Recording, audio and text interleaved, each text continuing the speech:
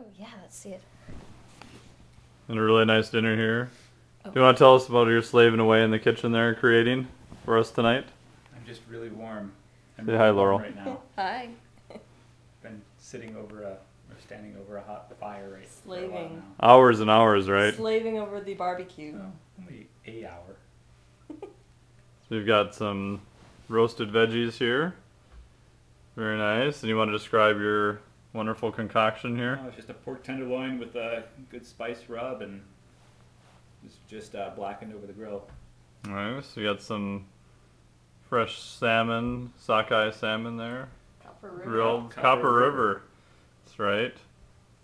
We have some wine from my friends at Winehaven. See Marshall Foch red wine. Got a cat on my lap.